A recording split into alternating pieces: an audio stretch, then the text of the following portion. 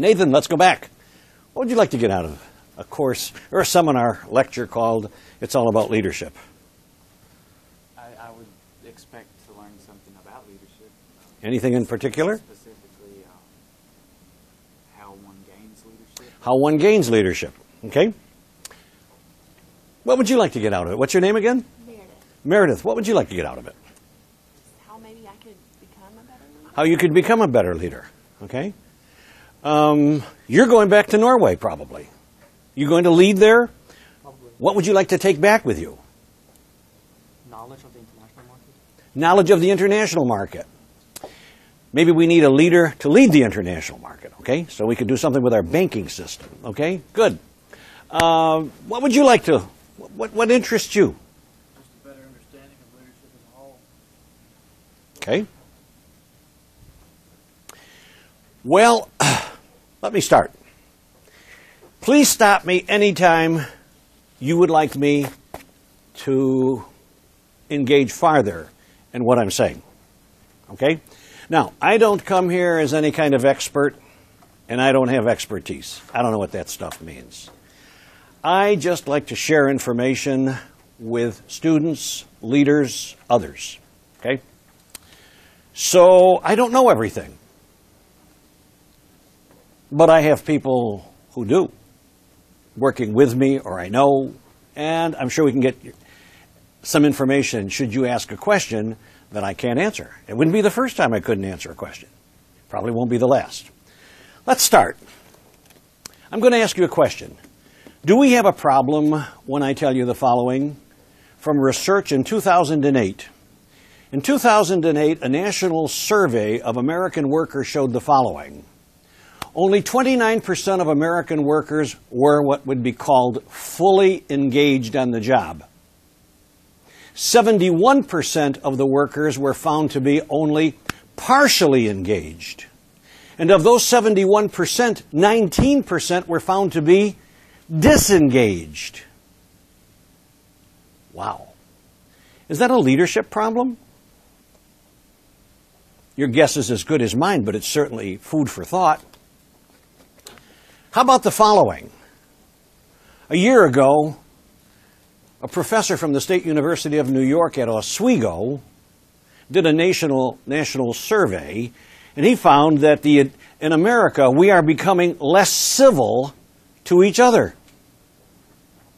We are becoming less civil to each other. I require a book in one of my classes called Choosing Civility by Forni. Now, isn't it interesting? I find it interesting that I really have to have my students learn more about civility. Why? Because where are they going to learn it? We have a national survey telling us that as Americans we are becoming less civil to each other. I even recommend that we should take two words out of the dictionary thank you. When's the last time you were thanked for something you did? It all boils down to this. Think about it. It probably has something to do with leadership. So I'm going to say the following Nations rise and fall on the basis of leadership, companies rise and fall on the basis of leadership, families rise and fall on the basis of leadership. Think about it.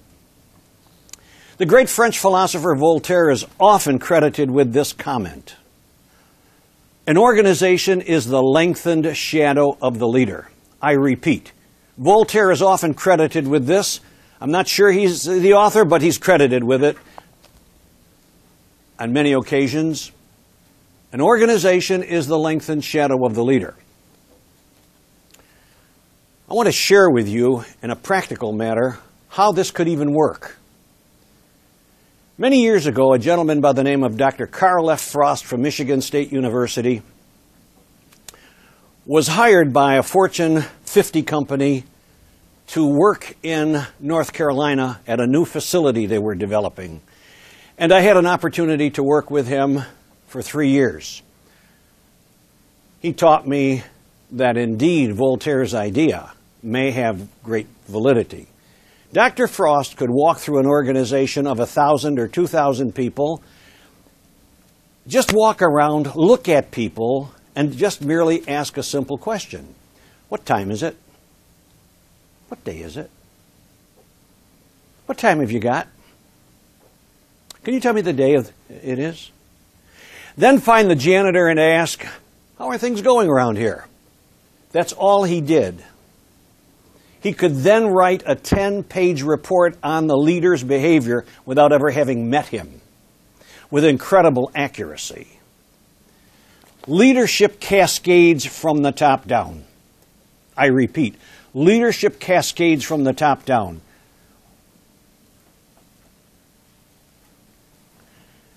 It's this simple.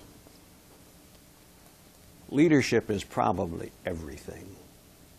More books are written annually, probably about leadership, than any other topic, except these days investments and money.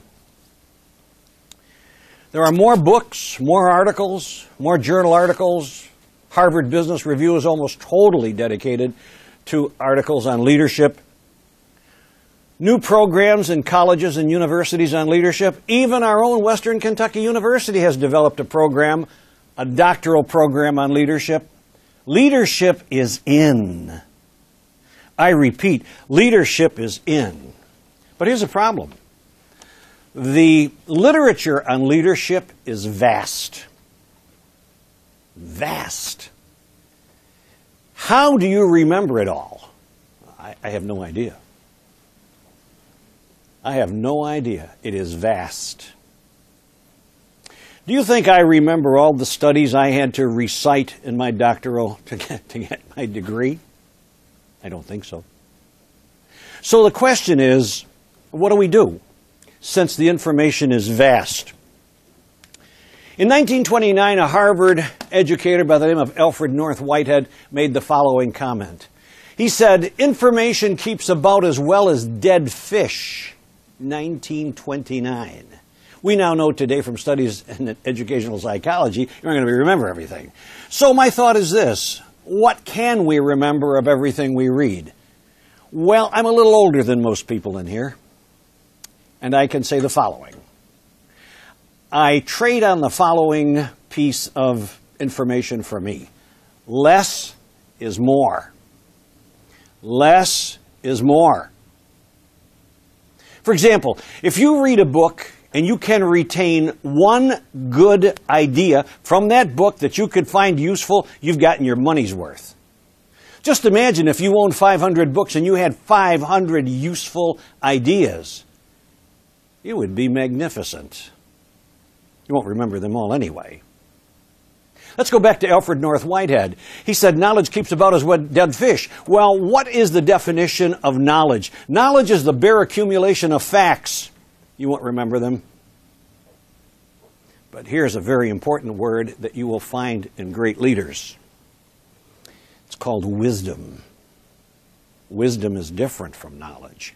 Wisdom is the artful use of knowledge. Whatever you can remember, whether it's one, two, three, four percent of everything that you have ever learned, if you could use it wisely, it will be very effective for you. Now, there's a difference between recognition and recall. Recalling is tough, recognition is easier. But to be able to recall all the facts, everything you heard, better to get one idea. For example, if today, after all my ranting and raving, you come out of here with one useful idea, your time was well spent. One. I tell people if you, you know, you get one idea from a book, you got your money's worth. If you get two ideas, get your checkbook out and send the publisher a check. you did very well. My philosophy is, is this again less is more. And I want to share it with you. If I'm out in the business world working with a group of leaders, I like to show them that less is more. So I like to ask questions and get them to respond. Why? The finest way to get people to learn is to get them engaged. So let's say I've got a group of eight or ten people. The most important thing that one can do is get them engaged. So I ask this question are leaders born or made?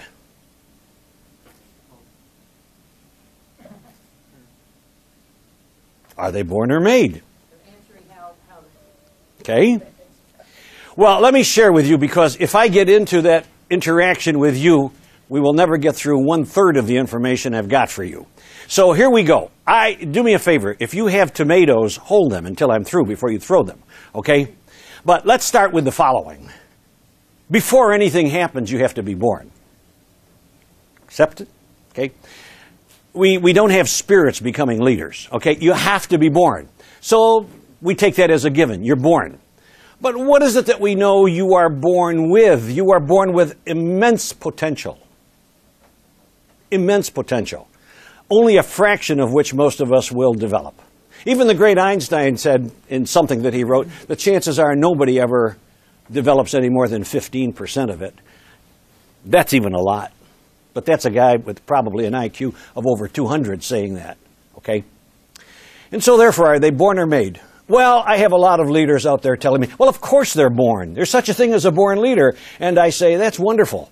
If you say that and you uh, believe that, then you'll have to agree that there's such a thing called a born, that there's a, a born gene. You're born with a certain gene, a gene for leadership. You'll have to agree.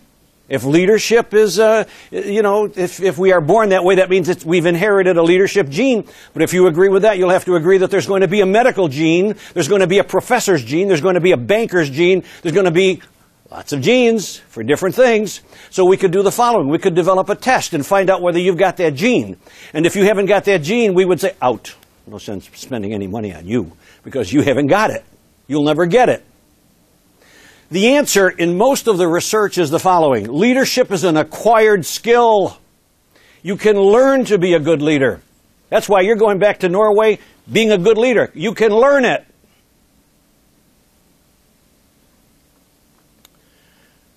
Leaders are made.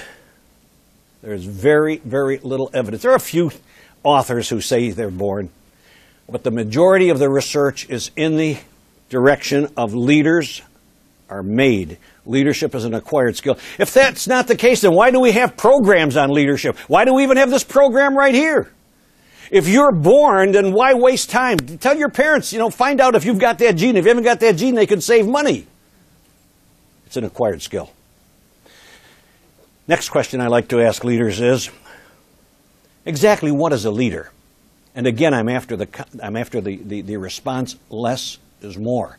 Well, I get all kinds of answers. What is a leader? They give me book and verse. This is very simple. A leader is the one who's responsible for obtaining group or organization goals. Pure, plain, and simple. The leader is responsible for gaining the goals, uh, for, for obtaining the goals. That's simple. If a whole organization fails, they're not going after everybody. They're going after the top person, the person who's responsible for moving, for, for getting those goals. And so next is, what is the, what is the work of a leader? Uh, what, let, me, let me go back. What is the role of a leader? I ask them. Oh, they give me all kinds of things. I'm going to recite the words of Peter Drucker, probably the greatest name in management consulting. Drucker says, the role of a leader is watch how simple this is. The role of a leader is gathering followers. Wow. Wow. Wow. Gathering followers. Wow, that's phenomenal. You could write a thousand words on that. Gathering followers. Magnificent thinking this guy had. And now finally, the last one I ask is what is the work of the leader? That is very simple. The work of the leader is moving all of those followers to obtain those goals. That's his or her work. How does the leader do this? He's going to do it in two ways. She's going to do it in two ways. One is through authority, and the other one is through power. Ah! You say, aren't they the same? Not according to this professor. They are different. Authority is the legitimate right to force, to make, to require, to obligate somebody to do something. It's legitimate. It comes with a title. Even clothing suggests authority. If the policeman stops you, you don't roll your window down and say, By what authority are you stopping me? How dare you? You don't do that. We understand authority means obligation. Authority means obligation.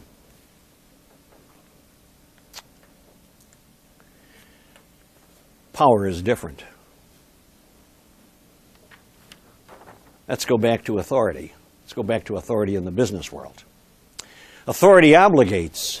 And when you do not measure up, authority has the right to discipline us. And in the business world, they discipline us by demotions, discharges, some form of penalty. That goes with not obeying authority. Call it whatever you want. I want to stay with authority for another moment before I go to power.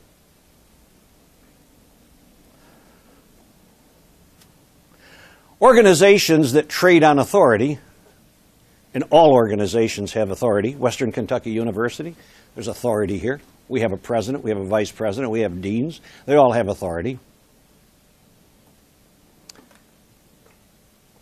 How many of you knew that during World War II, how did Germany require those millions and millions and millions of troops to suffer through some of the worst winters in history in Russia? They do that? It's very simple.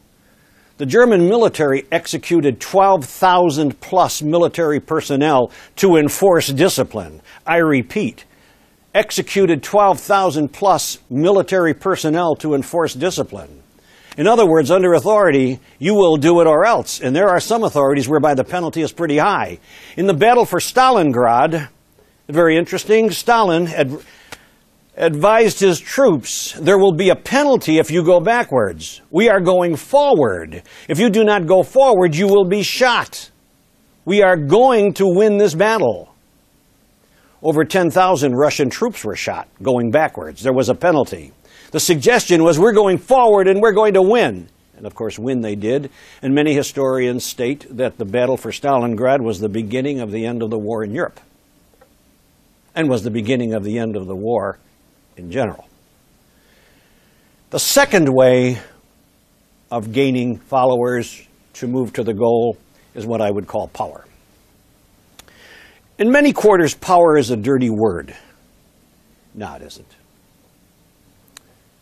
Power is a capacity to influence the behavior, physical and thinking behavior of another.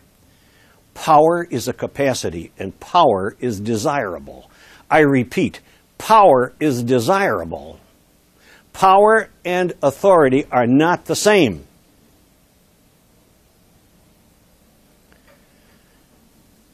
What one can do with power is amazing. One can do things with power that authority would have to put a whip knife or a gun in the back of someone to do. Author- power can get it done voluntarily. For example, Gandhi of India. What authority did Gandhi have? None. By golly, what influence he had, which led to immense power, enough of power to rid India of the British. Now, if he had had an army, hey, the British Army was one of the best in the world, if not the best in the world at the time. It might not have worked. But he developed influence, and ladies and gentlemen, under influence, you get power. And with that power, people voluntarily will commit themselves to your leadership. They will walk through hot coals for you, and you don't even have to ask them. Take a look at Martin Luther King Jr. He had no authority, but look at the influence he has had. How about Jesus Christ as man on earth? His influence is felt to this day. What about Mother Teresa? No authority, great influence. How about Eleanor Roosevelt, the wife of the President of the United States? Great influence. How about Michael Jordan? Yes, Michael Jordan. The business world has used Michael Jordan's influence for sales. Haven't you seen him with a Wheaties at. Did you eat your Wheaties today? How about the second one? Are you wearing Hanes and all the men are, I don't know. Have, am, I, am I wearing Hanes? Michael Jordan says I should wear them. That works. It's influence. Boy, what we could do with influence is unreal. Okay, let me stop. In an organization, influence is a ton better than authority. But are we going to be naive as to believe that out of a hundred people, the leader is a person who has developed great influence, that out of the hundred people, 100 will accept his or her influence? And the answer is no, let's not be naive. But let me tell you on the basis of experience.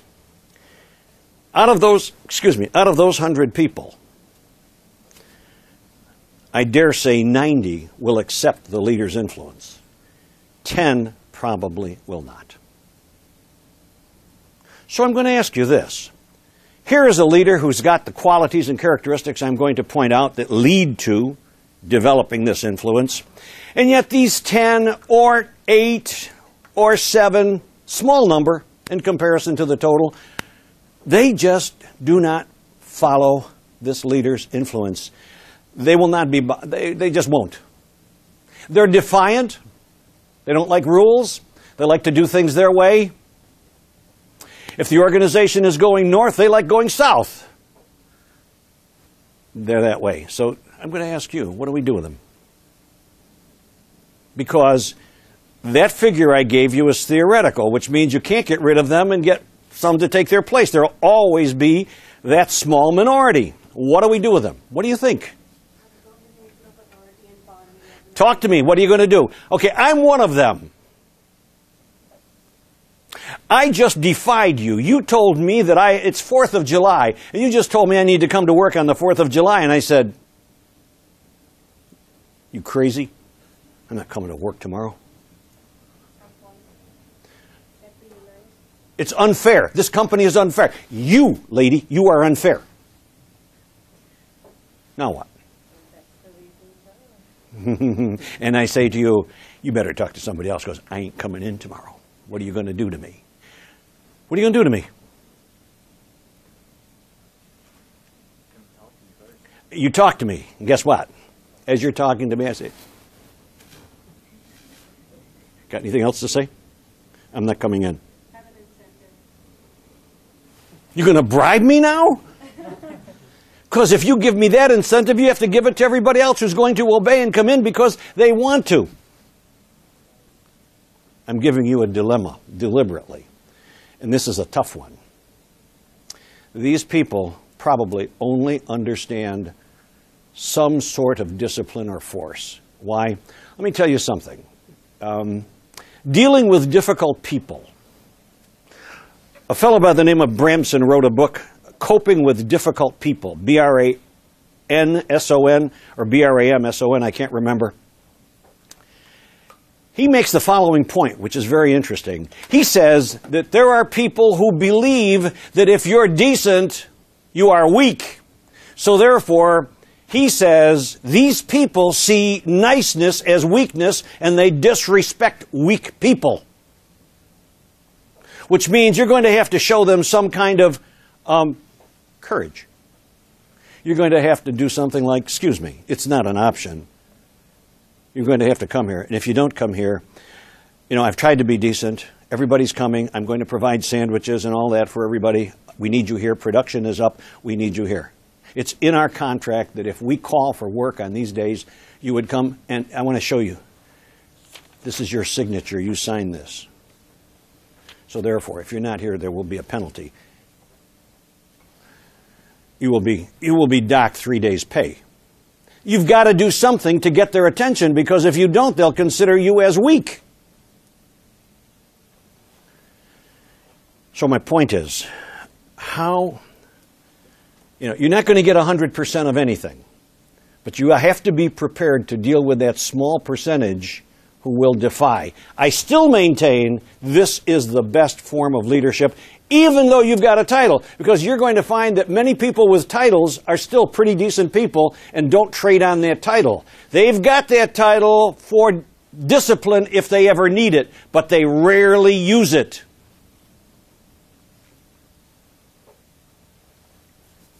I've used this example in one of my classes. I've just been promoted to president of a company. And usually, when an individual comes in at the top, that's when the shenanigans start taking place. This is when people start moving around almost like an earthquake to find out who can get away with this. You know, it's like adolescence with a with a substitute teacher. You know, they try to see what they could get away with. Well, okay, here it comes. Uh, I tell everybody, look, folks, I don't know what you did in the past. That's all, you know, that's that's all gone. But we're, I want you in this boat, and we're going north. And I see this guy from the corner of my eye going south. Well, I'm a pretty decent guy, so I, I bring him over and I say, hey, fella, excuse me, you must have misunderstood. We're going north. You're going south. Please get in the boat. So next thing you know, I turn my back and I notice him going south again. And I said, excuse me, fella, exactly what is it that you don't understand? I said we're going north. Now please get in the boat.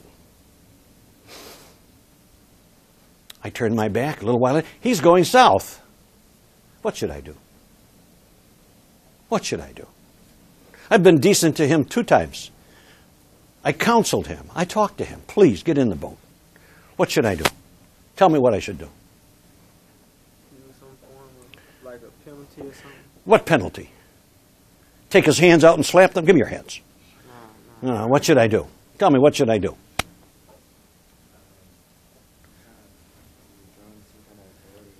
I am the authority.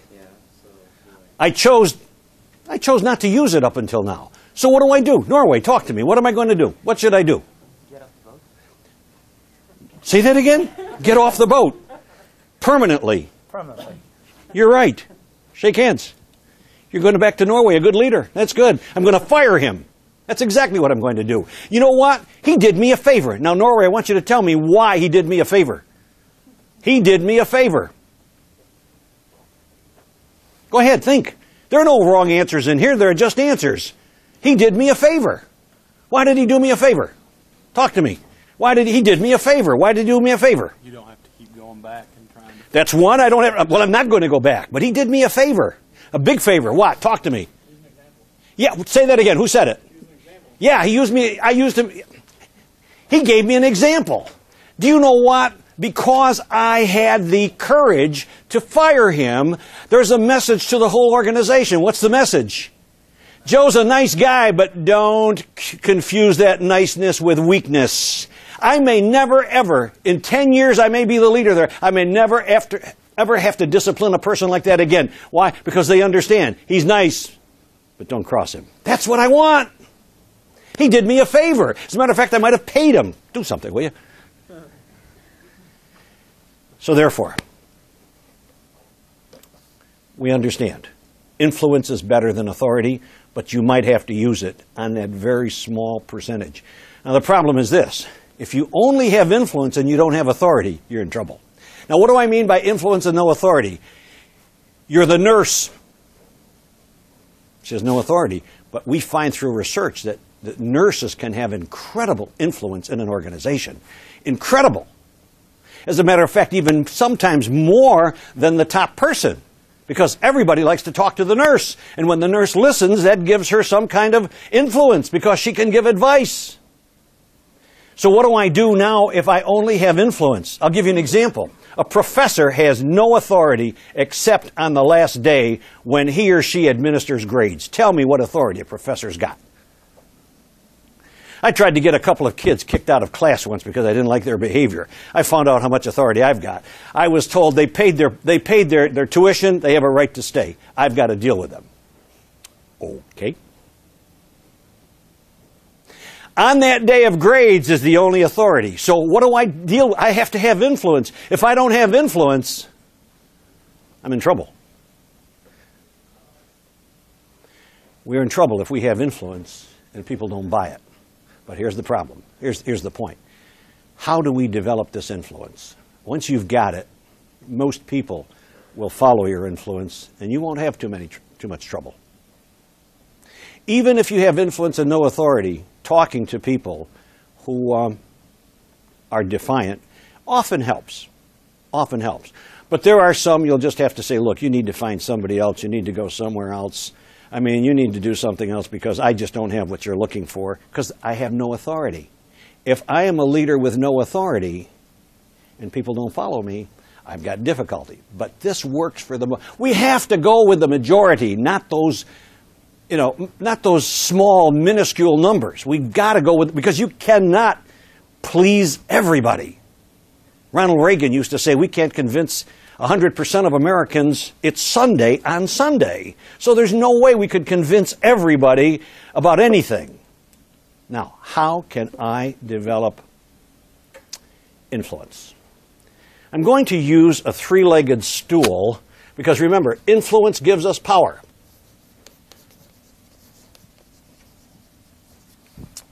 I'm going to use a three legged stool as a model for developing power. The first leg is going to be competence. Competence. The leader has to have some competence in something that is considered valuable. I mean, if I'm if I've been appointed as leader over a group of, um, shall we say, accountants, and my background is geography, yeah, I, I'm going to have trouble. They're going to say, you know, how's this guy going to help us with our problems in finance? You know, especially if the first couple of people come and ask me a question, and I say, uh, go see Bob. Bob will talk to you. Go see Phyllis. She'll talk to you. People have got the idea right away. I, I'm not too, too swift. So I'm beginning to lose something that I need very badly. The second leg is respect. Got to have respect. Got to get respect.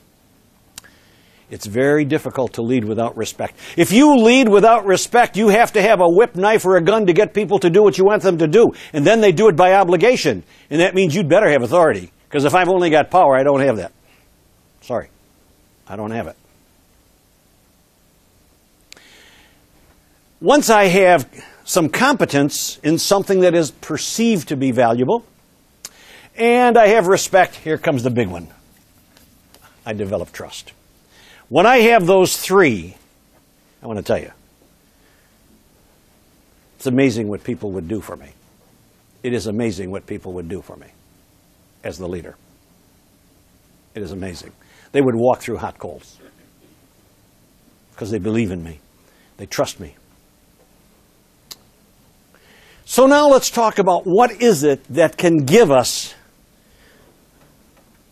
the trust, the respect, and it's understood I've got the competence. I'm going to call this a kind of behavior that we will see in the leader who develops power and influence called encouraging. Encouraging leadership. Encouraging leadership behavior. That's what's going to give it to me. Encouraging leadership behavior.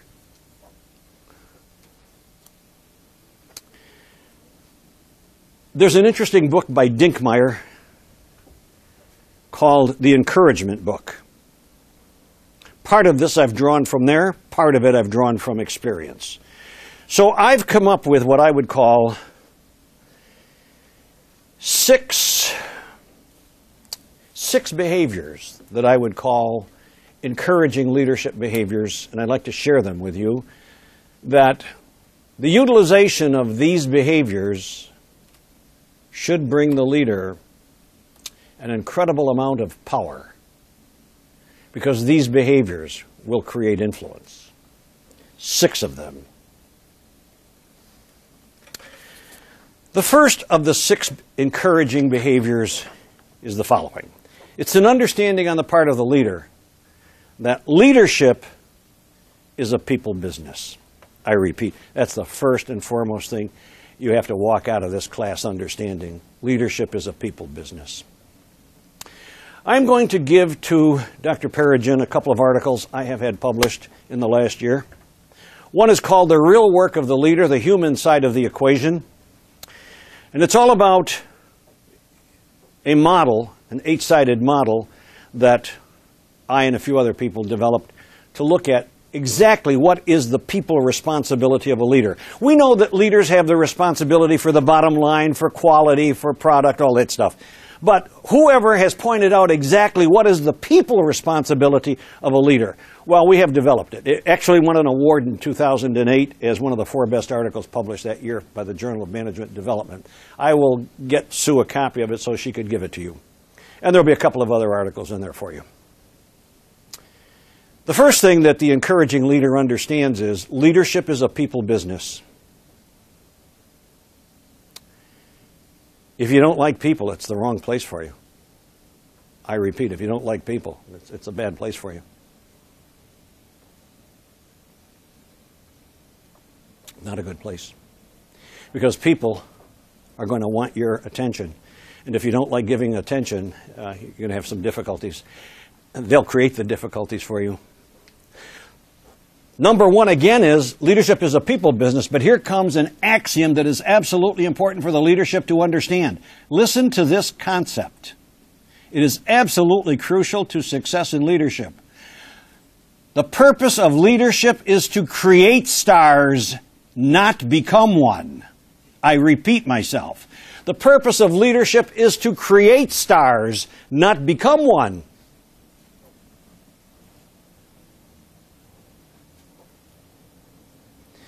Boy, there are a lot of leaders who who've never heard of that. Purpose of leadership is to create stars, not become one. Okay, I'm with a group of leaders, and I say to them, I'd like to give you an example of what I'm talking about. About the difference between becoming a star and creating a star, creating stars. My team has engineered great profits this past year. I have a team of seven or eight people, and we have under us hundreds of people. The chairman of the board of directors has invited us to a meeting of the stockholders, and they're going to pay tribute to me and my team for this wonderful year we had last year. So I'm going to go through a scenario for you, and I want to show you what lousy leadership is like and what better leadership is like. Okay? So it's time after dinner. The chairman of the board says the following. He says, Ladies and gentlemen, stockholders, please come to attention. Tonight we want to honor this man, Cangemi, for all the work his team did this past year, giving us a great year of profits. Joe, would you kindly stand up? So I'm standing up. And he's starting to sing my praises. Joe did this and Joe did that, and while he's doing that, I am absolutely lapping it all up.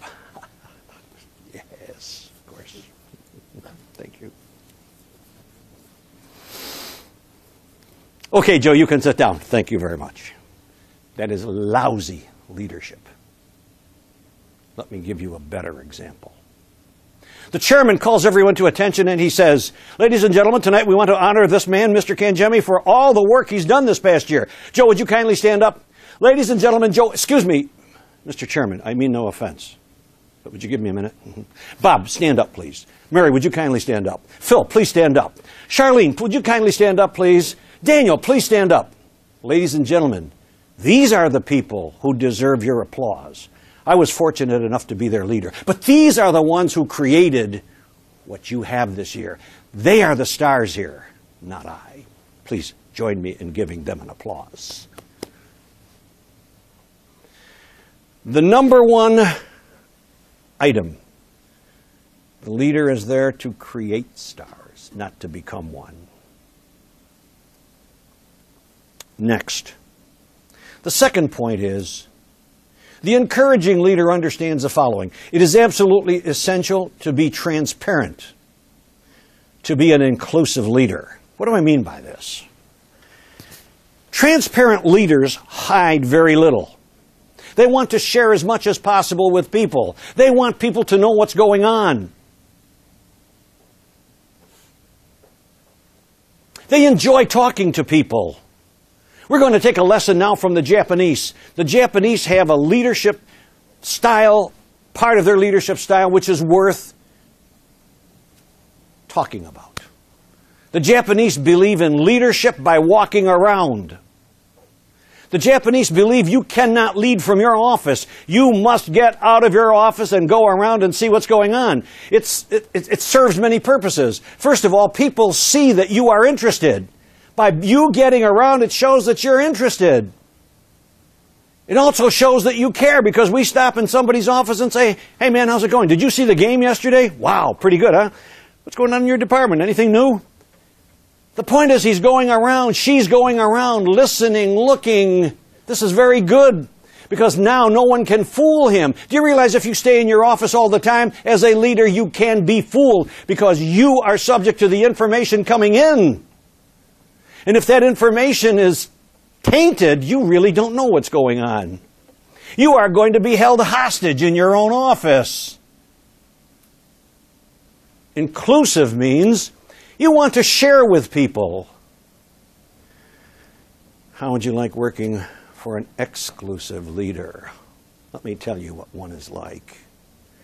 Number one, he never leaves his office. Number two, he doesn't share. Number three, he creates circumstances that reward him and not you, and you don't even know about it. To this day, a gentleman tells me that his exclusive leader cheated him out of a quarter of a million dollars. And he did it and got away with it because he never shared any information with people.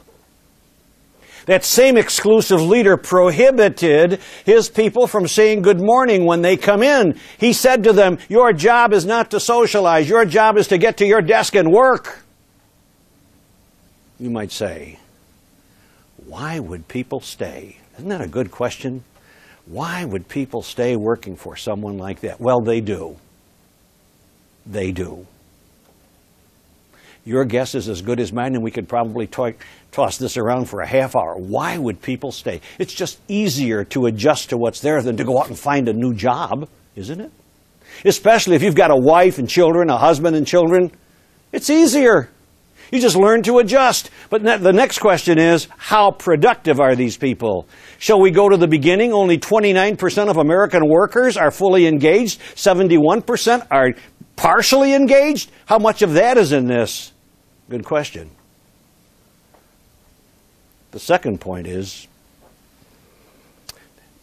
the encouraging leader is transparent, shares information, likes to explain things, asks for information.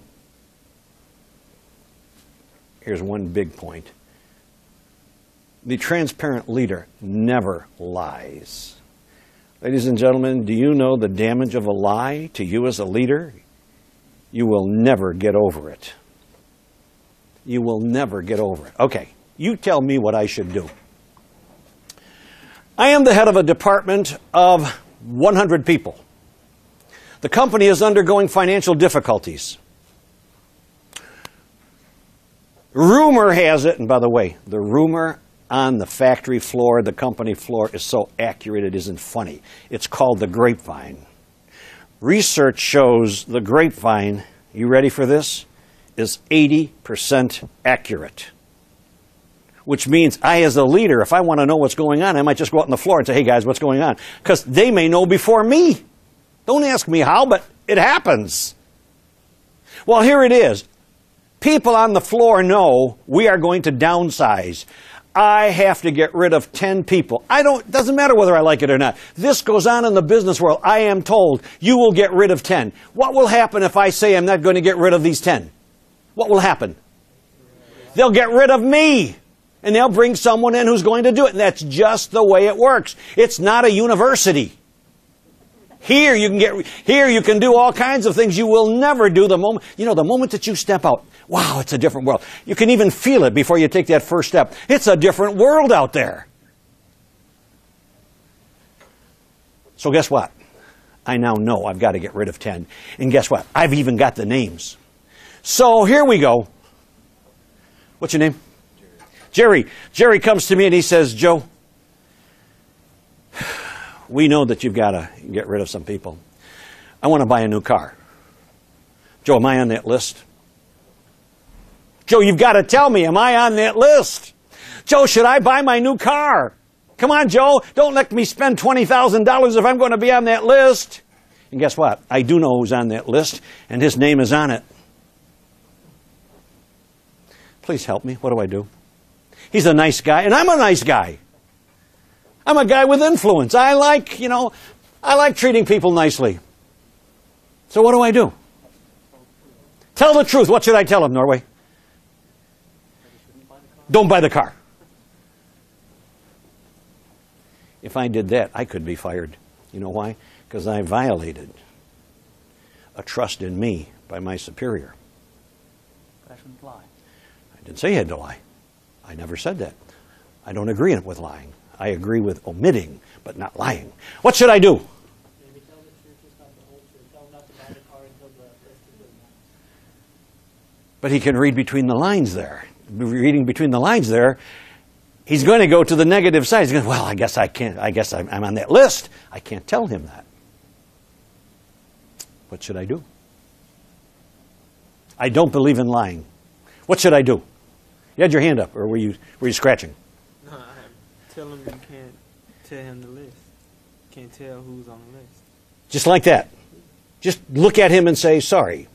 Sorry, I can't tell you if you're on the list or not. You want to go over there and tell him? I don't. No. That's exactly what I would do. I'd say, "Old buddy, I know you want to know, and I wish I could tell you, but management directives suggest that list can't be revealed until the 1st of March. I'm sorry. Yes, I do know, but I'm obligated, and you understand. I hope you understand. I can't tell you one way or another. Don't buy the car. Why? I don't believe in lying. And I can't violate the trust that was given to me by my leaders.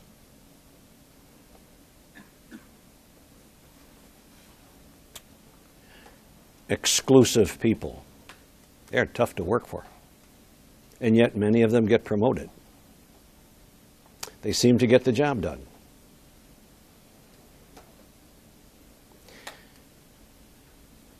On the door of an exclusive leader is this sign. And I mentioned it earlier, but I'll mention it again. If this door is closed and you open it, the building had better be on fire. That's an exclusive leader. Believe me, she doesn't want anything to do with people. Next, the third characteristic of an encouraging leader is the encouraging leader has a good sense of how to deal with people. You know, that's not hard if you like people. If you don't like people, that's pretty hard. I repeat. A good sense of how to work with people if you don't like people, that's pretty hard. But if you like people, you could learn quickly. You would learn quickly because it's not a problem for you to learn how to deal better with people. I, um, in one of my classes, I talk about organizational politics. And I say, smart people understand that there are politics in every organization. And um, my definition of politics is the ability to get what you want without offending people. I repeat, the ability to get what you want without offending people. And so you know, there are certain rules that we have to follow in organizations with a good sense of people. For example, a person with a good sense will understand the following and why it makes some sense. You never embarrass your boss in public. Why? You never put your boss in a corner, even if you're right, because you can't win. You don't do that. Okay? And so, therefore, people with a good sense of people tend to get along very well with people. These are some of their qualities. They are not quick to anger. They are not quick to anger. They are patient. They have empathy for people. They have compassion. They're not fools, and they don't suffer fools lightly, but they can understand. Example Bob has been a terrific employee for seven years. The last few months, he's not doing so well. But I find out he's undergoing a divorce and his wife ran off with the kids. Well, most people, if it's she who's getting a divorce and he ran off with the kids, what difference would it make? The suggestion is who is at his or her best under those circumstances? And the likelihood is some of that's going to show up at work. And so, therefore, understanding that and helping him or her to get through it, perhaps by encouraging him or her to seek professional help, is valuable. And it will commit this person to this leader probably forevermore because the leader understood at a time when he or she needed understanding. Having a good sense of people suggests two things. One, this encouraging leader has a good sense of humor. And what do I mean by a good sense of humor? Oh, I don't mean laughing at my jokes or anybody else's jokes. That's easy. A good sense of humor means that I can laugh at myself. That is a good sense of humor, that I can laugh at myself and I don't take myself too seriously. Okay? I make a mistake and I laugh. I can't believe it. I did it again. Wow. That I can laugh at myself, admit I've made some mistakes, admit I made the mistake.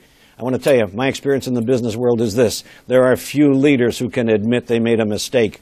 I talked to a guy yesterday who messed up, and I said to him, call the man up and tell him you made a mistake. He said, I'm not calling him up and telling him I made a mistake.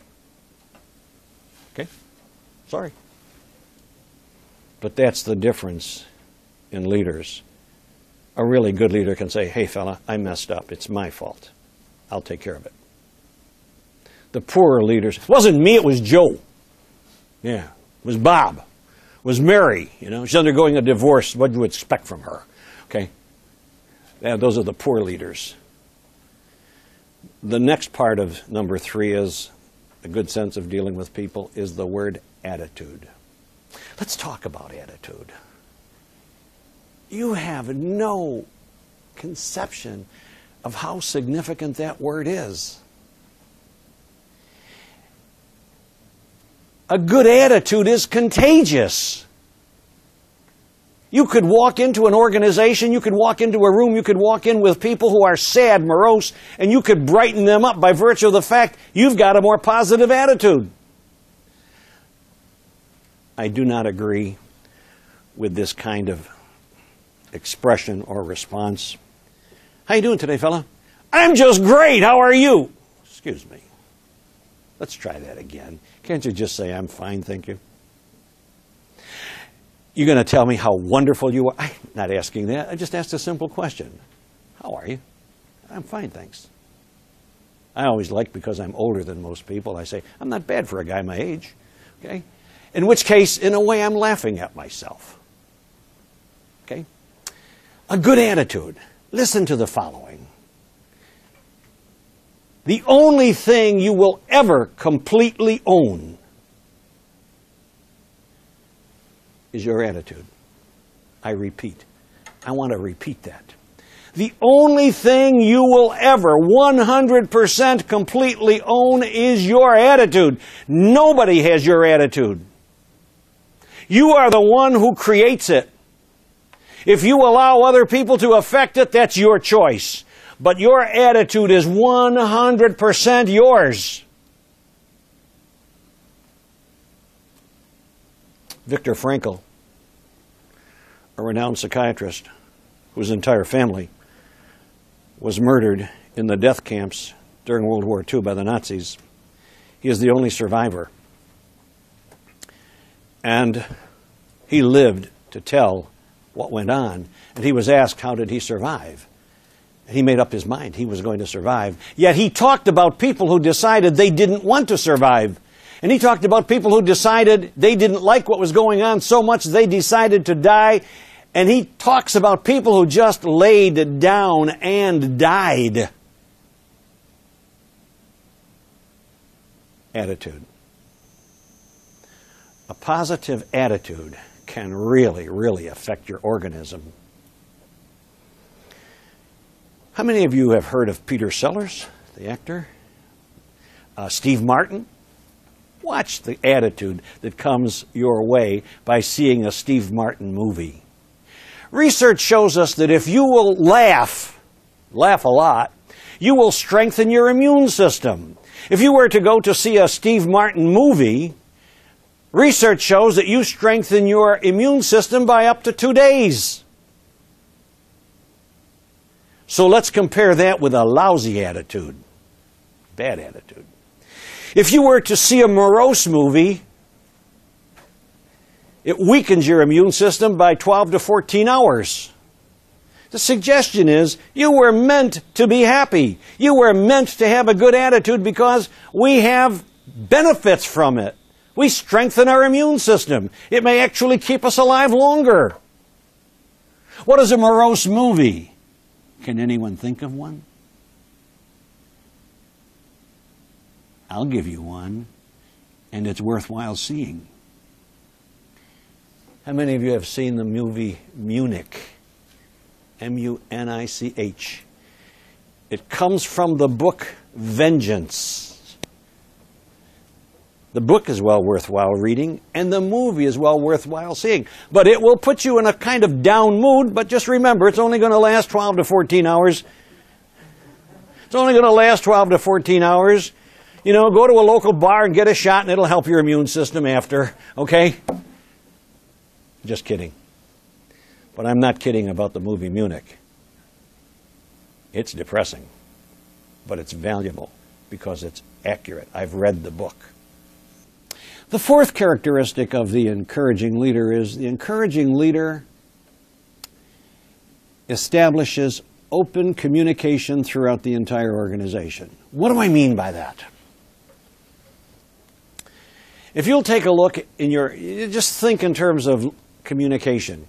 Communication flows east and west, colleague to colleague.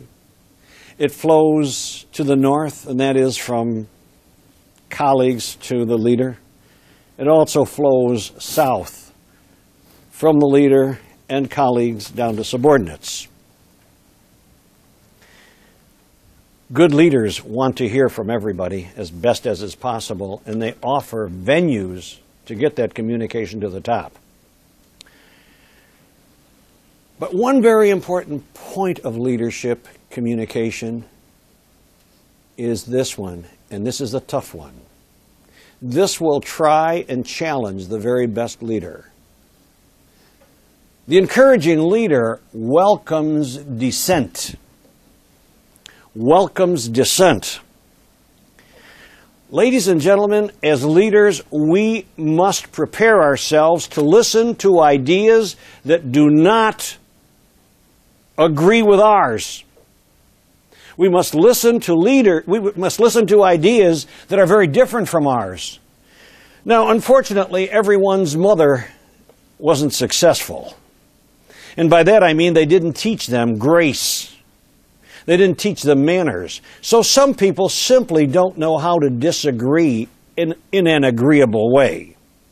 Some people can be very rough. It doesn't matter. The encouraging leader has to know how to, how to deal with that. Example, suppose I'm giving, I, I'm giving a rah-rah talk to my people and I say, Who's, what do you think about that? And some person, a male, female, and by the way, some of the worst behavior I'm finding out is coming from women. Oh. In a credit card company, women basically answer the phones. The verbiage they tell me that women use on the telephone when they call them up and ask them in a polite way when they're going to pay their bill, I cannot believe the language women are using on these women. I mean, I've been in the Navy And I've never heard sailors talk this bad. Women, unbelievable. The point is, suppose Charlie over here goes on a tirade and talks down to me as the leader. Remember one thing. As a leader, I must respect my people, and therefore I expect respect back. This person is showing me disrespect. If I take too much disrespect, I'm going to lose respect from everybody else because they're going to question if I've got the courage to deal with this. And I would merely say, Bob, look, you have every right to your point of view. But however, let's discuss this after this meeting. Okay? I want to get on with things. You seem to be pretty strong for your opinion, and I'll listen to it. But after the meeting. And when we're one to one, I'm going to tell him, Bob, you have every right to disagree with me, but you will never, ever disagree with me with the disrespect that I saw coming from you. If you can't respect me, then I'm sorry. You'll have to meet with me one to one. But if in the meetings, I expect that you could talk with respect. You can say anything you want. You can disagree with me all you want. But this is one thing that I expect. I will listen to everybody. And here comes the point of communications, ladies and gentlemen. The leader cannot have made up his mind ahead of time going through the motions that he is listening or she is listening because people will pick it up in your body language. They'll pick it up. Remember, body language, from many writers' point of view, is 100% accurate. Body language, from the view of many writers, is 100% accurate. So they'll pick it up in the body language, which means that if you ask for opinions, you had better be listening because you're going to get them. And you know what? Some of them are better than yours. For you to say to your secretary or whoever your administrative assistant, Mary, that's a great idea, take it down. I, I think that's a great idea. Let's, let's look at that later. Let's take that down. But you know what I just did? I put myself in an obligatory position. If I'm taking it down, I have to get back with that person to tell that person what I'm going to do with it. Which is good because it says that I'm authentic. I meant it. I must open the way for dissent. People must be able to dissent. A study was done to find out why people left their jobs.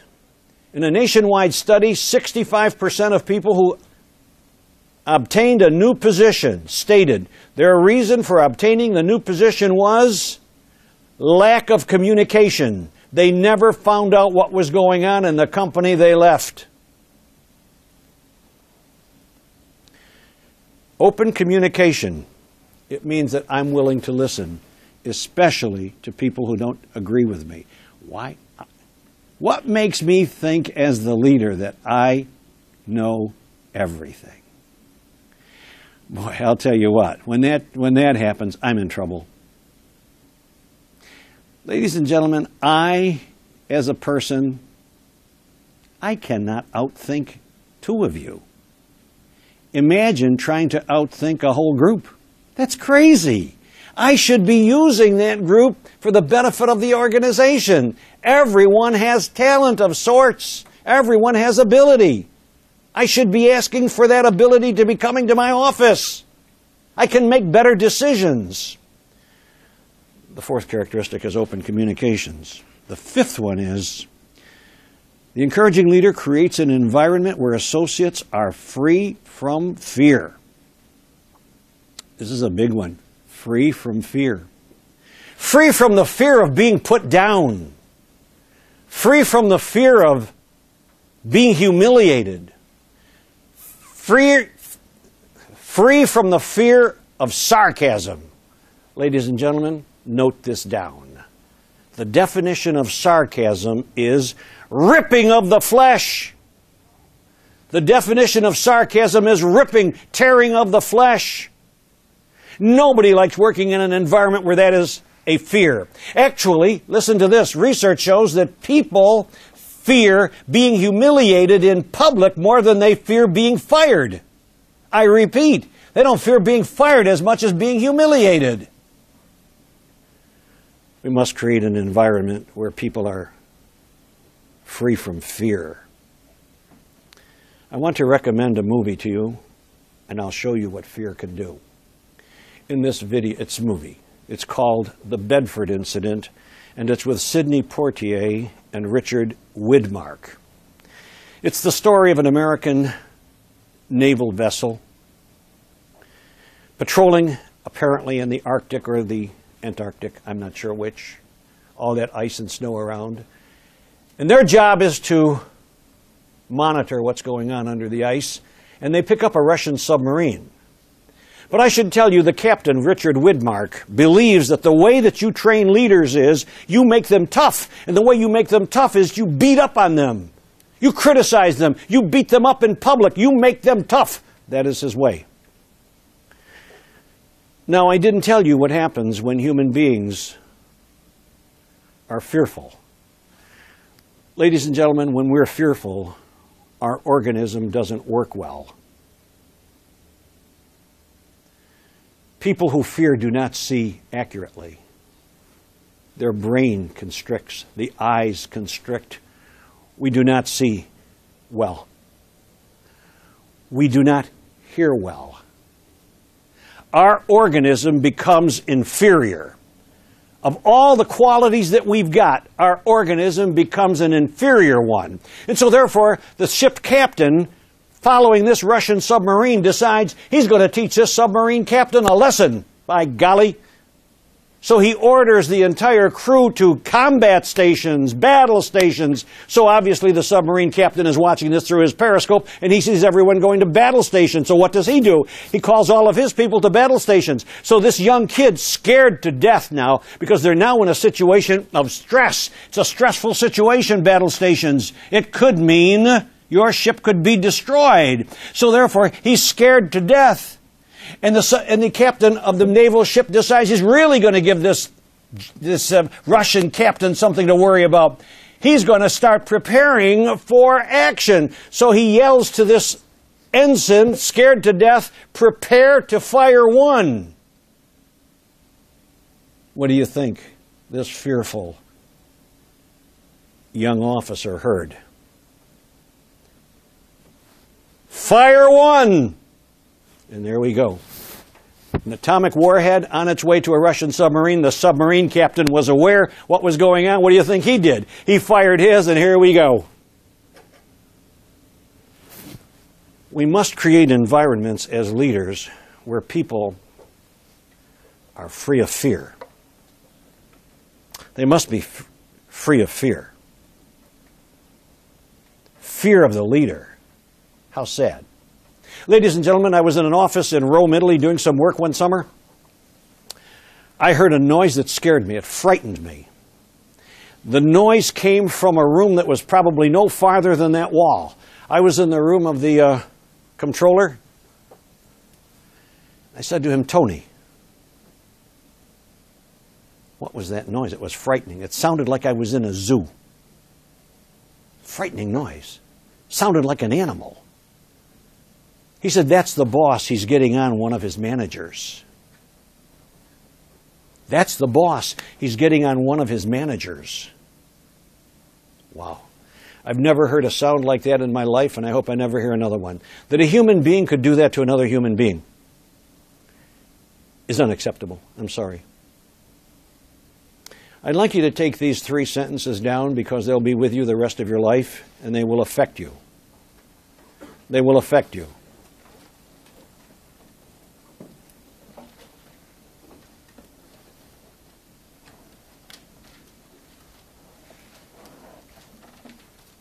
I may forget what you said to me. I may forget what you did to me.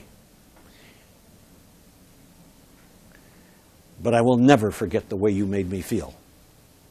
I may forget what you said to me, I may forget what you did to me, but I will never forget the way you made me feel. Ladies and gentlemen, this is why 20 years later some people can't stand others and they don't even know why. It's because they can't remember what was said, they can't remember what was done, but they remember the feeling. Encouraging leaders understand that. We don't say anything to anybody that could really destroy their feelings. We don't do that. I may have to fire you, and I will if I have to if I'm the leader. You're going to have to put me in that position, and when you do, I'm going to do the following. I'm going to bring you in, and I'm not going to do what some people do. I would like to be a fly on the wall to hear what happened at the post office when someone was terminated or whatever company, and the person comes back with an AK 47 and wipes out 13 or 14 people. I guarantee you what was said to that person at that time was not something that could be repeated. I guarantee you. Why? Because people with low self esteem, self esteem that is hanging on a thread, have very low self worth. You start messing with that, they may come back and get you.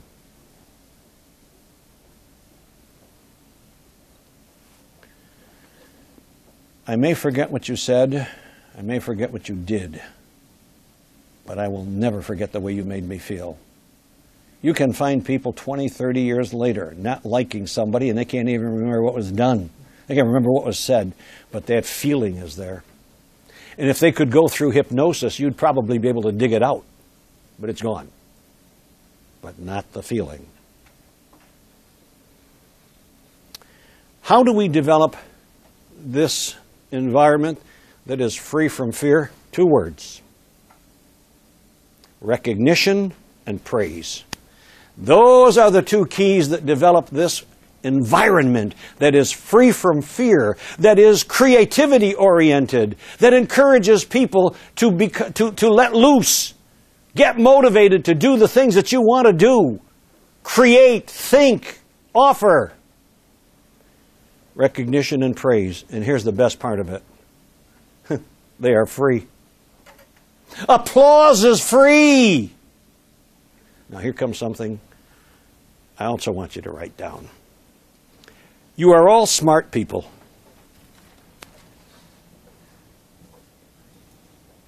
I don't have to tell you this. We all need to reward goal attainment.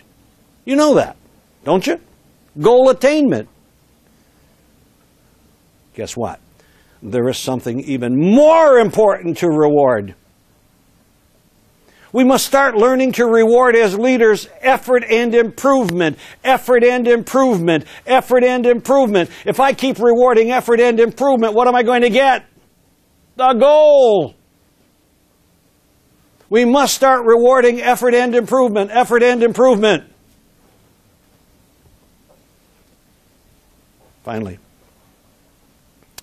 there's a formula here to create that kind of environment a guy by the name of Robert Angelos sent me this model many years ago. To create that environment, watch this. A minimum of 80% of all the experience in the environment must be positive. To create that kind of environment, a minimum of 80% of the experiences people undergo every day must be positive. A maximum of only 20% can be negative. And finally, the last characteristic. Since it's time for you to go, I'm going to skip over some notes I have. I can't get it all in. So I'm going to go to the last one. The last characteristic is the leader. The leader must model the behavior he or she expects from others. The leader must model the behavior he or she expects from others. It's not like some mothers and fathers are quoted as saying, Don't do as I do, do as I say. You can't get away with that as a leader. If you want, if you want people to be at work at 8 o'clock, you'd better be there before 8. If you want people to stay after 4, at 5, to be there until 5, you'd better stay there. If they see you coming in late with great frequency, you'll lose them and they won't respect you. So the six characteristics summed up number one of the encouraging leader leaders must understand they are there to create stars, not become one. Two, they are to be inclusive and transparent. Number three, they have to develop good people skills. They need a good sense of humor, and they have a good sense of humor and a good attitude.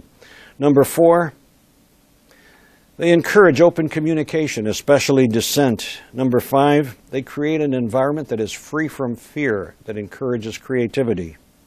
And they understand 80% of the experiences every day should be positive. And number six, they understand they must model what they expect from others. In closing, I'd like to read this quote that was made of Admiral Chester Nimitz, who was the chief of naval operations right after World War II, and the admiral in charge of the Pacific Fleet that was victorious in the Pacific during World War II. At his passing, the following was said about Admiral Chester Nimitz. He had wielded enormous power without arrogance or ostentation. A leader who had remained simple, friendly, approachable. Ladies and gentlemen, that, that could be said about any leader, anywhere, in any organization, is the legacy that would be wonderful for each of us to attain. Thank you.